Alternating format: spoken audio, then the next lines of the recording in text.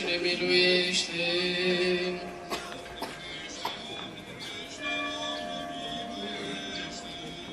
ne rugăm pentru un alt preasfințitul Arhiepiscopul și Mitropolitul nostru Teofan pentru sănătatea și mântuirea lui.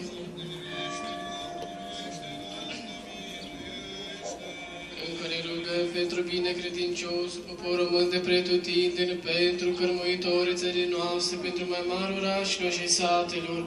și pentru iubitoarea de Hristos oaste, pentru